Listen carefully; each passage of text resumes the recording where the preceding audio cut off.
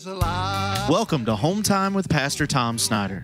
At this moment, we would like to thank Back Creek Valley Full Gospel Church for being our gracious sponsor. And now, here's Pastor Tom with some announcements. Hey guys, this is Pastor Tom. I'm pastor of Back Creek Valley Full Gospel Church here in uh, Hedgesville, West Virginia. Uh, we've had the blessing of preaching and traveling all over the world. We got radio programs, uh, Facebook Live, a YouTube channel, and you've tuned into one of our archive recordings of our radio program. I hope you enjoy it, but more than that, I hope you are ministered to by it. So sit back and enjoy, and uh, we'll come back with you with a few messages at the end of the program. I'm going to be preaching in just a few minutes about the Word. I'm going to have a song on it.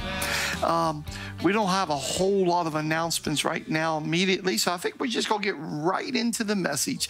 Listen to this beautiful older um, chorus Thy Word is a lamp unto my feet and a light unto my path. Thy word is a lamp unto my feet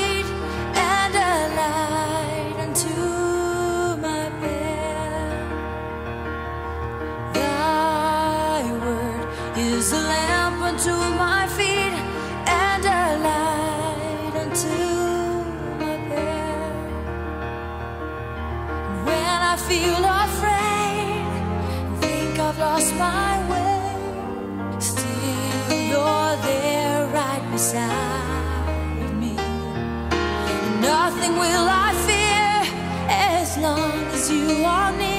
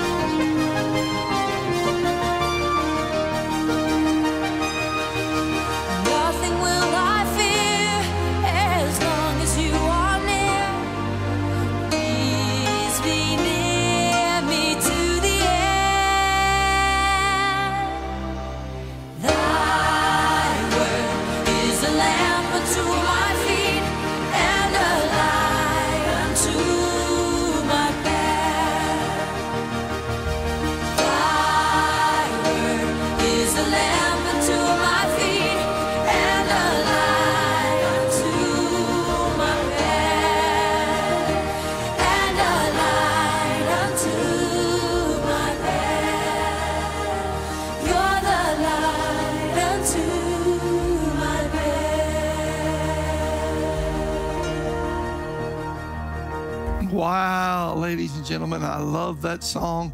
Known that song for quite some time. I guess it's been out now probably over 20 some years. That song has been out. Thy word is a lamp unto my feet and a light unto my paths. Did you know some of you have sung that song and listened to it on the radio for years? Did you know that it's directly out of the out of the Bible and it's one of the scriptures that I'm going to be reading to you here this morning from Psalms chapter number 33 and verse number 4. Thy, for the word of the Lord, I'm sorry, um, for the word of the Lord is right, and all his works he has done in truth. For the word of the Lord is right, and all the works he has done in truth. This is the scripture that I want, ladies and gentlemen. Psalms 119, 105. I've had quite a few scriptures this morning that I've got written down, just read to you the wrong one. Thy word is a lamp unto my feet and a light unto my path. Thy word. Do you know how important, Christian brother and sister, the Word of God should be to you in your life. Amen. Uh, I want to read some more scriptures to you. For the word of God is quick and powerful and sharper than any two edged sword, piercing even the dividing asunder of the soul and the spirit of the joints and the marrow, is a discerner of the thoughts and the intents of the heart. That was Hebrews 4.12. Second Timothy uh, 3.16, 17 says, All scripture is given by inspiration of God and profitable for doctrine, for reproof, for correction, for instruction in righteousness, that the man of God may be perfect, thoroughly furnished unto all good works. Hallelujah. Let's see what else we got here. Amen. As for God, his ways is perfect. The word of the Lord is tried, and he is a buckler to all them who trust him. Amen. I want to preach to you on the importance of the word of God in a Christian's life. The importance the word of God is to a Christian. Amen. Lord Jesus, help us today. Lord, you know we cannot do this in ourselves. We pray, God, that you would touch us and help us and anoint us. God, touch somebody's heart out there. In Jesus' precious name we pray. Amen. We in the modern church are lacking many, many things that the foundations that went before us had and we don't have. Uh, now, there are some things that we seem to over uh, do, uh, exemplify. Uh, I love worship. You know it. I love music. You know it. I enjoy it immensely. Amen. But it better be Christ centered. There's so many churches, you know, we become nothing but an entertainment. We become nothing but pampering our flesh. You can go in and get your latte and your coffee and your shopping and everything else done. The one stop place, the church. There are so many things that the modern church has. One of the things that I believe that it is lacking is a genuine knowledge and a genuine push of the written word of God. Oh, there's all kind of um, materials. There's all kind of uh, paraphernalias that we use in the modern church. But how many of us have been dedicated to reading, understanding, and studying our Bible? How important it is the, the lack of maturity and growth that we see in the modern church as I, as I get around people that call themselves Christians and see so much worldliness in them, so much flesh in them, so much immaturity in them. And I, and I got to wonder are they reading their Bible? Are they going to a church that is Bible centered? Are they listening to a preacher, a minister that is Bible based?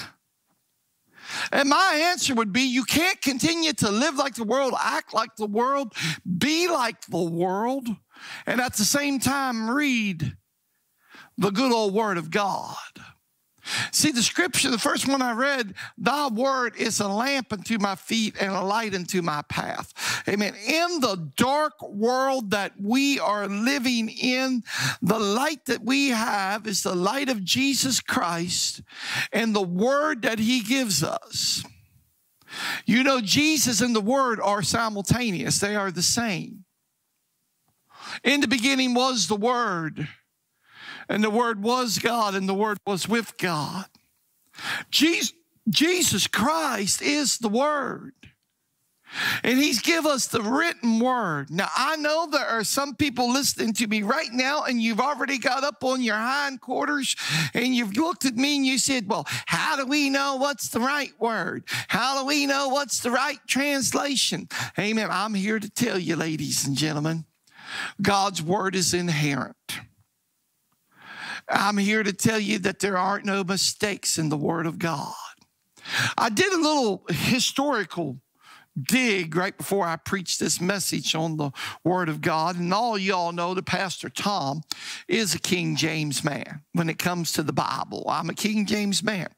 I'm not to the point where, you know, I don't read other translations. And, you know, there's times I get into the Amplified, and there's times I get into the New King James. Amen. In my studies, I, I, I go cross referencing quite a few of them. And listen, I'm, I, this, I'm not here to get in an argument, amen, about what, what translation is is correct. But I'm here to tell you, you need to be living according to the Word of God. Amen. You need to be living according to God's Word and what God has for you. Now, as far as the King James, how it come to pass, you know, the, you know, the original, the Old Testament was majority of it was written in Hebrew, and and the New Testament, the majority of it was written in Greek. There was overflowing between Hebrew and Greek. And then, after about 200 years after the church had been established and Catholicism came into the picture, it started to be translated into Latin something called the Vulgate, and uh, the, they they had written down into translation the Old and the New Testament. And that went on for hundreds and hundreds of years to this little bleep that happened called the Reformation when Martin Luther decided there were so many uh, misgivings of, of, the Catholic Church and there were so many misgivings in, in their in their writing in, in, in their translation uh, that that hundred year period there started to be quite a few different translations that took place. And then in England there was a king that came along called King James. It was a, it was less than a hundred years after the Reformation that King James um, it was put upon him by some of his people to say, "Hey, we would like to have the Bible. We would like to have the Word of God in our language that we can read it every day. That we don't have to go to a priest or to somebody that reads in Latin so that we can understand the Bible." And so King James began to get I think it was 59 different scholars from across the, not just his country, but different countries. He gathered them together. They were in Cambridge and Oxford. He, they were split up, I think, into nine different groups, and, and they began to bounce uh, the translation back and forth. This was a painstaking time that they put into this. In fact, I don't know. Uh, I don't know how all the translations have come about, but I, I would tell you that this was probably, if not the most intense translation of any of the other translations in the history of the word. It ranks right up there. Uh, these guys, uh, they they they put themselves together. They separated their lives just for the point of transferring from the Latin into the English, the old King's English of the time. And they got it right. I know that there are a lot of people that are listening to me say, Brother Tom, I don't like the these and the thous. One of the things that has always amazed me, I never forget sitting in Bible class in, in college, and we were talking about some of the things I'm talking to you, and it came up then, I'm going to bring it up now.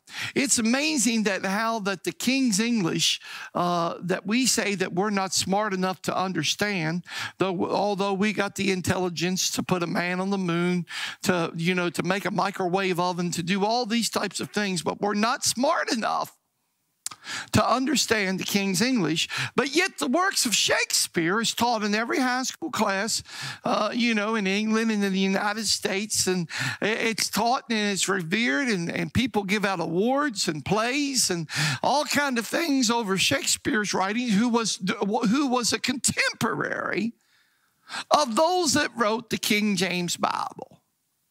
To me, it's a sellout.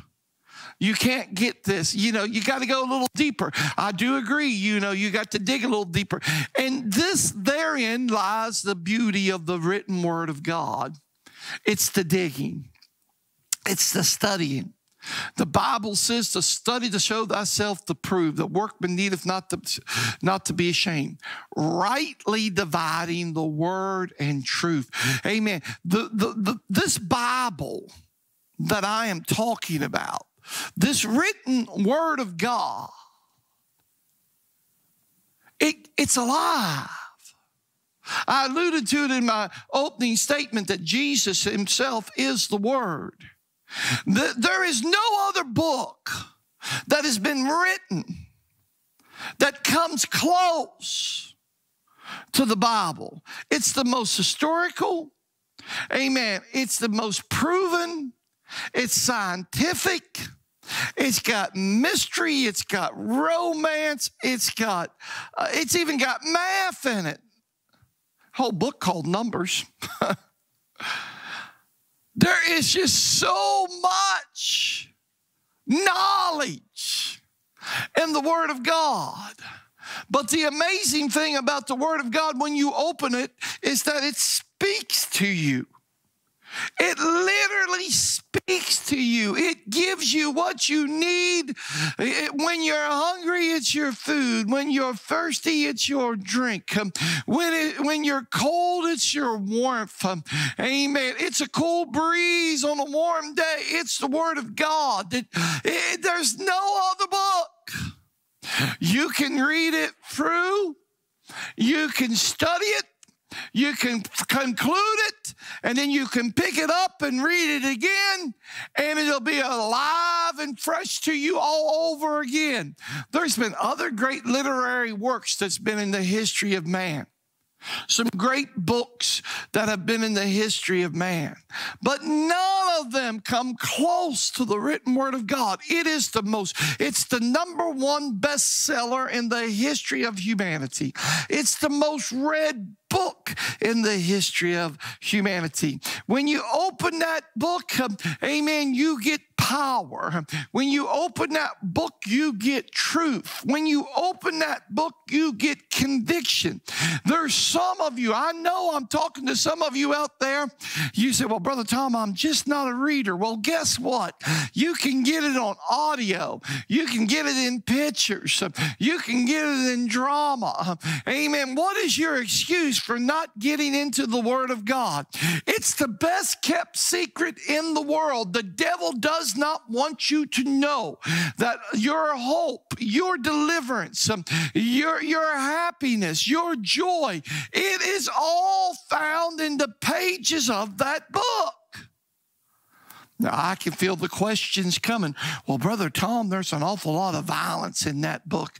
There's an awful lot of archaic things in that book. Um, you, certainly, you don't recommend this. Listen, from Genesis to Revelation, every word of it I recommend. Uh, every word of it is anointed. Uh, there will be some things that you don't understand. There are going to be some things you just don't even like. Amen. But realize throughout the different dispensations of time, this written word of God is a conclusion. Amen. This is God's plan. It's God's handbook that He has give you to get through this thing we call life. Amen. You've got a handbook. Most of you'll go, you'll work jobs or you'll go to school. First thing you do when you go to school, on the first couple days, them teachers get up and they read you the rules of the handbook. This is the handbook. This is our constitution for the school. You go to work someplace and it's a big place to work, you're going to get a handbook. You go to the military, they got a code, they got a handbook. I'm here to tell you God has give you a handbook. It's called the Bible. Amen Everything that you will ever need, everything that you will ever desire, everything that you ever question is found in the pages of this here book. Amen. There are a lot of people that got a lot of questions about a lot of things that are happening right now in this dispensation in this time. And there are many people that'll come up to me and they'll ask me all kind of questions from sexuality to evolution to uh, Uh, finances. And when, when you ask me, this is what I'm going to tell you. All my answers come from this book. Pastor Tom Snyder bases his entire existence and his mindset. It is on this written word of God. Someone said, Brother Tom, you're too close minded. No, no, no, no, I'm not too close minded. I have found what works has worked since the beginning. In the beginning was the word. Amen. It's going to be the word that is going to wrap this thing up. Amen. And all the way through. Amen. I, amen. I stand on the word of God. It gets me to that old song that Pastor Tom learned when he was probably three or four years old. Amen. The B I B L E. That's the book for me. I stand all alone on the word of God. The B I B L E. I stand on it. I thank God Someone said you were indoctrinated. Yes, I was. And thank God I was indoctrinated with the right stuff. Amen. I'm here to tell you I was indoctrinated. I am indoctrinated. I'm indoctrinated with the doctrine of the Word of God that it is uh, that it is true, it is right, it is the inerrant, infallible Word of God. It is true. Let God's word be true and all men a liar. Someone said, Brother Tom, you can't think like that. Certainly, you're not that archaic in your thinking. Well, I'm here to tell you, um, amen, that I have lived by this principle now for many, many years. Amen. Even when I was out there sinning, I knew that the word of God was right and I was wrong. Amen. I've lived by the word of God and this has been the word of God that has kept me. It is the word of God that has kept uh, me in right standing. It has kept me in hard times. It has kept me in difficult times. I am so thankful for old time, old fashioned Sunday school classes that taught me the importance of knowing the written word of God. I thank God that I was raised in a church, amen, where we had Sunday school. Amen. That I, when I grew up, amen, and I, I, surrendered to the call of God, I went away to what we call a Bible college. And I had teachers and professors that taught from me, uh, taught to me the written word of God. God. And I thank God that after I got out of Bible college, after a, a, a many year course of, of studying the Word of God, uh, that I didn't just shut the book, that every day, ladies and gentlemen, I got up this morning and the first thing I did before I left my house um, is I had my devotions and I read the Word of God. Um, amen. Before I got up here and turned on the radio dial to preach to you guys, uh, I was into study uh, on the Word of God. Throughout this day, Brother Tom will be listening and preaching on the Word of God. I come back here on Wednesday night and, and we have study on the Word of God. I get up here Sunday morning and I preach, Thus saith the Lord, on the Word of God. We come back here Sunday night in our evangelistic service and preach that you need the Word of God to bring change into your life. Amen. I want you to know how important the Word of God is to this old time preacher. Amen. It means everything to me. Amen. It's why I am where I am. I've had the pleasure of traveling around this world. I've had the, the joys of seeing many things across this great country. I have met many different people in many different cultures, speaking many different languages. And the one thing that we had in common, it's the Word of God. When I get around other brothers and sisters, when I get around people of like minded faith, there ain't nothing that secures me more than the Word of God. When the doctor comes along and gives me a negative word, I go to the Word of God. When the banker comes along and tells me it ain't good, I go to the Word of God. When my mechanic comes along and tells me things ain't happening right, I go to the Word of God. Amen. When there's troubles, when there's trials, when there's temptation, when all else fails, the Word of God will be true. Amen. I'm here to tell you, ladies and gentlemen, that a lot of you are going to churches that don't even preach, don't even open up the Bible. The Bibles ain't in the pews no more. I'm here to tell you that the Bible is the most important book you'll ever read because it's not just a book, it's an alive book. It's a, it's a, it's a book that never ends. Amen. It's alive forevermore. Amen. The book called the Bible. Oh, hallelujah. I do not know how others are making it through during this pandemic when everybody was so scared and the fear was upon everybody, and I, even yours truly. When it first happened, the questions that I had, I got in the book um, and found out that no weapon formed against me shall prosper, no plague shall come not my dwelling. Um, amen. That the Lord Himself will protect me in the midst of famine, famine and tribulation. Um, and as I read the word of the Lord, pandemic fears begin to fade away.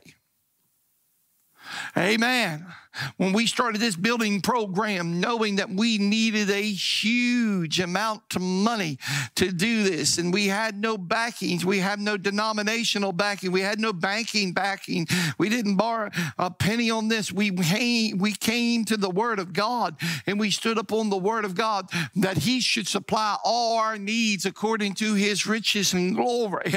Amen. As I read the scriptures on being faithful, and I told the church, I got up on that one one Sunday morning, I said, Listen, I do believe this um, that the Word of God says that if we'll pay our tithe, um, pressed down, running down, shaking, um, amen, it'll come back to us, cast our bread upon the water in many days. I'm quoting to you the Word, ladies and gentlemen. Amen. When sickness has tried to come into my body, amen, I've stood upon the Word, believing on the Scripture. If there's any sick among you, let them call for the elders of the church and let them lay hands upon you you. Um, amen. I'm here to tell you um, I claim the word, um, I claim the written word. Um, I know what's in the word of God, that if I'll read the word of God, it'll tell me that the blood of Jesus Christ um, will save from the uh, uttermost, from the guttermost to the othermost. amen. It's the written word of God that tells me all about Jesus and what he done for me and what he will do for you. Uh, it's the word, the B I B B-L-E, that's, that's the book for me. There is no other book that I need. There is no other writings that I need other than the Word of God. It's been proven. It is true. It is righteous. Someone said, Brother Tom, that's archaic. I just want to tell you this. Amen. I've lived by this. My parents have lived by this. My grandparents have lived by this. It's been passed down through our generation. The importance of the Word of God.